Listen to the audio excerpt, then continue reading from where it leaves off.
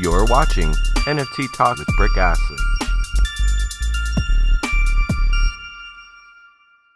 GM, welcome to NFT Talk. I'm your host, Brick Astley. The purpose of this talk show is to highlight one on one art on exchange art. Today's guest is a founding member of Soul City Radio Network and a knockout photographer.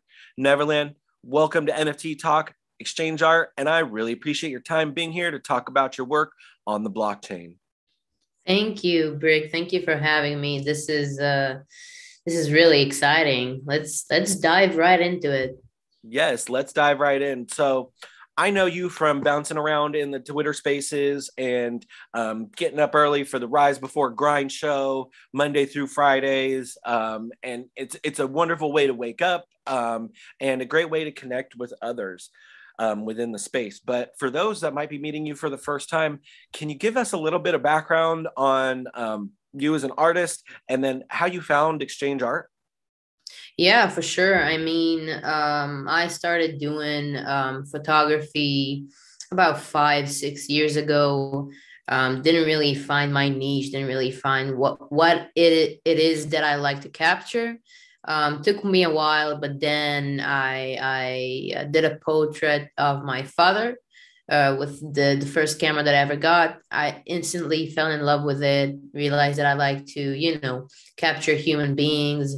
Um, I partnered up with my best friend. Um, now he's my best friend, but we started as a photographer and a model.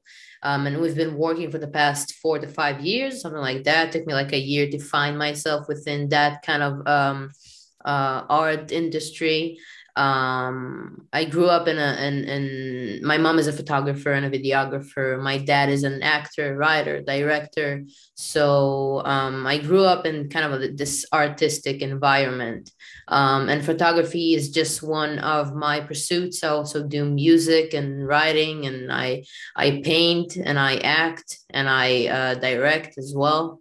Um, I found exchange art through um, Hyro who is my uh, co-host in the Rise Before Grind show. Uh, about like a month and a half ago, uh, you know, I've been I got into Twitter and and Discord because I realized that is where you know all the NFT is happening. I didn't know what what an NFT was back then, um, but I was curious to see where are the one-on-one artists, where is the art, like where can I find that? I logged into Twitter, created my account, kind of like looked like NFT photography, things like that. I found Hyro. He told me all about exchange art. I remember when I met you on the spaces and you really shed like a lot of light. Um, and I dropped my collection about like a week ago, a week and a half ago. Um, but yeah, I just and I also joined Exchange Art Discord. They uh, helped me a lot. Like I was really nervous about like an auction that I was doing, and I was running into like technical problems.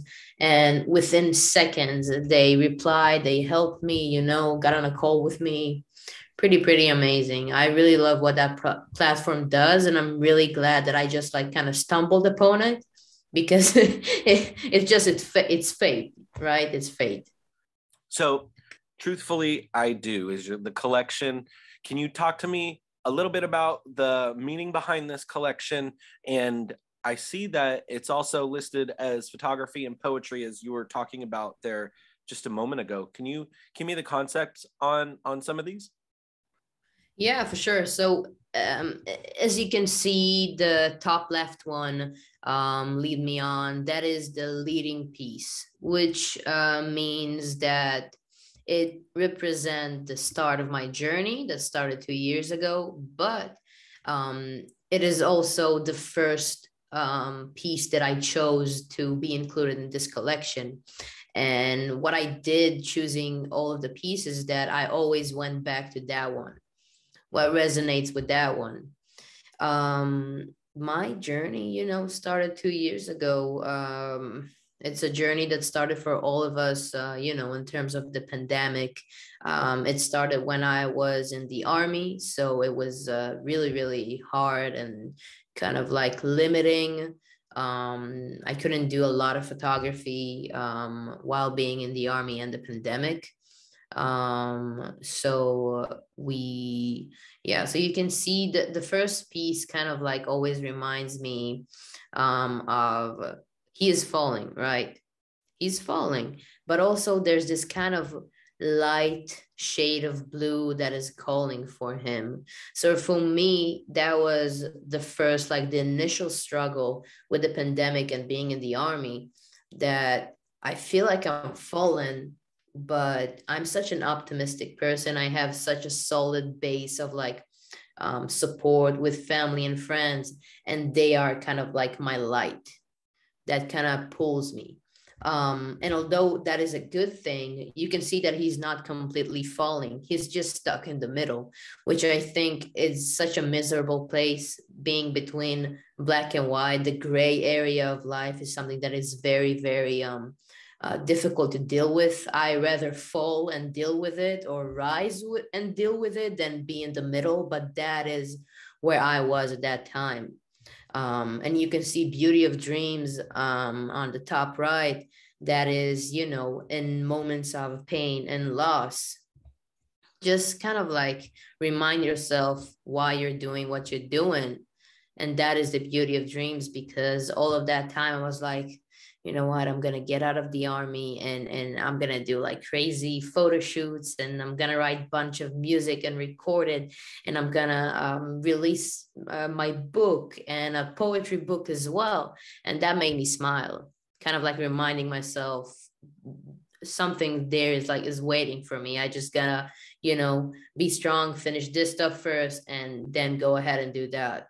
Um it's a very emotional um uh, collection, and it it's really thanks to this this guys that are um, um, here captured. Um, one of them, the Beauty of Dreams guy, his name is Ben. He is my best friend. Um, he's not a model, not an actor. He's just a human being, which I freaking loved. Um, the middle one, Corrupted, uh, his name is Yuval, which we share the same name um, he's an actor, so he was really able to kind of give the emotional um, expression a bit of like a, a, spiciness to that because he knows how to do it on stage. And theater theater and like theatrical acts are always like kind of like exaggerated in a way.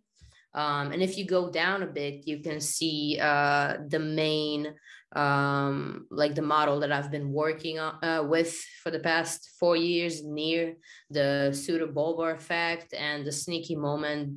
That pieces, that's him.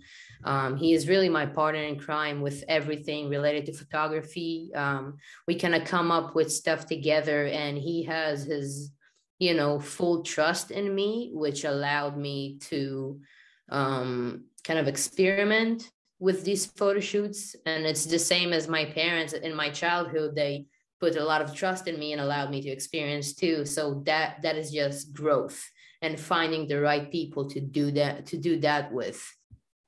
Oh thank you for that and thank you for sharing the story um, on on that and how uh, how your collection came to be. Um, so can you tell me you talked about being in the military. Um, can you explain maybe like or share any lessons like or experiences you learned from that maybe you're applying to your um, post-military life and here into the web 3 yeah for sure. I think um, someone asked me a question um, um, kind of like similar to that and i think is take a break. And what i mean by that is that okay i grew up in a artistic environment. I grew up in the backstage of every single theater here. Um, and on high in high school, I went to an, a really, really like um, intense art campus. We were 24 7 doing theater stuff. Um, and those three years in high school were a lot for me. I learned a lot. I love that. But in the army, a lot of people expected me to go and do theater because you can do theater in the army and kind of go do little shows for all kind of like combat soldiers, you know, to make them to make them happy and give them a little bit of entertainment rather than them being on the field 24 7 Um, and I didn't want to do that. I didn't want to keep doing that for two years. I wanted a break. I wanted a, challenge. Um, I didn't really want to join the army, but two days into like boot camp, and I fell in love with it. Um, you know, with the idea behind it. Um, and it felt like theater because the job in the army that I had is uh, I took care of people with criminal record or like problems at home and uh, money issues, um, people that you're not kind of sure if the army will help them or will make their situation worse. And i kind of went into the process with them of like verifying like you know kind of going through uh, their mental health and physical health and making sure um, that joining the army is the right decision for them. Um, some joined some didn't you know we uh, i try to do my best to help people um, but the army can be a very harsh place. Um, and i think me doing that for two years kind of like gaining humanity points um, that was wonderful so take a break sometimes because it also kind of like allows you to regenerate your uh, creativeness um, and that is something that I failed to do for the past month, but that is only because this journey has been so thrilling. Um, but I definitely need to go back and do that because taking little breaks in your day is something that can help you so much because sometimes we move the gears in our brain too much and too long. So for the you're uh, beyond art, you're into you're on the spaces, and you're a founder of Soul City Radio Network. Can you give me a little bit of background on that and how people can tune in? Absolutely. Um, well, the Soul City Radio idea um, came up when you know we started doing the Rise Before Grind show with Hyro and Patrick. Um, he goes by Crypto Mulliman. No, Mulliman Pat uh, Crypto. But um, we did that show, and then there's the show that is called The Shutter by the Jump Shoots. Um, and then there's the Exchange Art Photo Collective by UNS Jane. And there's so and the Solpix community. There's so many shows that I only learned about like two weeks getting into the Rise Before Grind show. So how, how I want to keep building in this community. I want us all to get it go straight to the moon and beyond you know so how can we do it all together but still allow everyone to keep the essence and core of their own shows let's create an umbrella you know and let's give it a name soul city radio that is all that it does right now. It brings all of us together brings all the communities together. Um, we have a lot, a lot of plans um, moving forward with um, Soul City Radio, um, and I think I think it's going to be really great. You know, we've built a structure to the Rise Before Grind. We've had amazing interviews. You know, today we had the Fallen. Uh, two more we have um, uh, Paper Buddha. Um, we had my father on the show, who's an art professor. Um, yeah, we have a lot, a lot coming. That's so exciting. So if the if people want to tune in, um, what days and times are uh, the Rise Before Grind? That's the core show, and then they can kind of branch out and find all the other shows from there, right? Absolutely. So the Rise Before Grind uh, runs from Monday through Friday, 9 a.m. EST up until uh, 11 a.m. EST. Uh, and then we, ha- we have two core shows. So we have the Rise Before Grind in these hours. Then we have the Shutter with John, which runs from 11.30 uh, uh, a.m. EST until uh, 1.30 p.m. EST no it's been it's been really great seeing and being a part of uh, the rise before grind and soul city radio network rise um, you know it's it's very inspiring to see other builders in the space trying to push and elevate other artists forward um, i think that's important in this space um, with that being said um, would you like to have any final closing comments to our viewers? Um, any ways they can get in contact or any kind of final thoughts um, for them Well, uh, I just want to thank you, and for whoever's listening right now, thank you for you know tuning in. Uh, thank you, Brick, for doing this with me.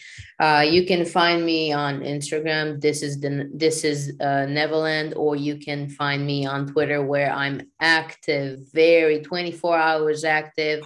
Uh, this is actually my handle. This is actually my handle. If if if y'all didn't figure it out by now um, XO12XX. That is my handle on Twitter. You can find me there. DM me, please DM me for anything that um, you might need because, you know, you, Brick, and Hyro, and Patrick, and John, you've helped me a lot regarding Exchange Art and the Twitter Spaces thing. So I can only pay it forward. And I say it all the time and I freaking mean it. Um, contact me. Just you know, slide into my DMs and ask any question or just say hi. I would love to have a conversation. We appreciate that. And with that being said, um, we're going to close this out. I want to say be grateful for yourself, be grateful for others, and be grateful for Mother Earth.